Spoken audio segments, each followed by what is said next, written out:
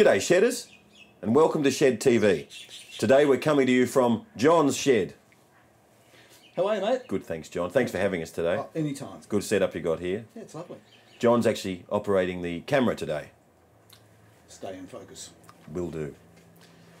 It's been a big month for men's sheds. The Australian Men's Shed Association had its annual conference in Brisbane. The Shed Online was there. John took his camera. We had our own stand. Thanks to everyone who dropped in for a chat. We got lots of great feedback about how you're using the site and what you'd like to see covered in the future. It was great to hear about all the activities that are happening in sheds around Australia. We've posted some interviews with shedders who attended the conference. Have a listen to them in the Shed Showcase discussion topic. We've also made a video of the conference.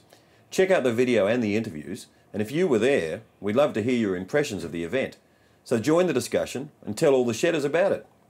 The Australian Men's Shed Association Awards were presented at the AMSA conference to highlight the great work going on in men's sheds. We'd like to say a big congratulations to all the recipients. Good on you guys. While we were in Queensland, we visited the Carina Men's Shed. Click on the link below and you can watch the video to find out how it started and what the blokes get up to. In our woodwork activity this month, Carina Men's Shed founder, Georgie, shows us how to make a jigsaw puzzle map of Australia using a scroll saw. This month on the Shed Online, we've got a great interview with Greg Champion from the Coodabeen Champions. Greg shows us around his shed, he talks about his music, his work on radio, and his interest in sport. So make sure you check it out on the news section of the site. The Shed Online has just launched chat rooms.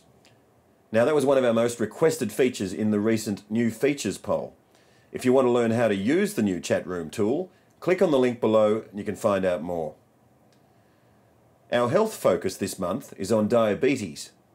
We have a type 2 diabetes risk assessment tool, courtesy of Diabetes Australia Victoria, and you can have a go at that in the activities section.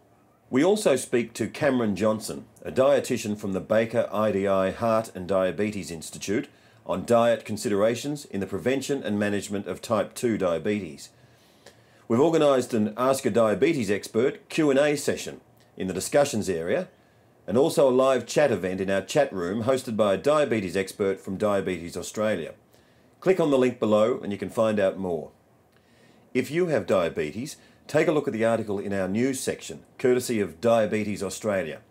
It explains how you could be eligible to receive diabetes related products at subsidised prices. Last month, our Ask an Expert Q&A was on the subject of arthritis. Thanks to those who sent in their questions, the responses are now online and you can see them in the discussion section. Well, that's it for this month.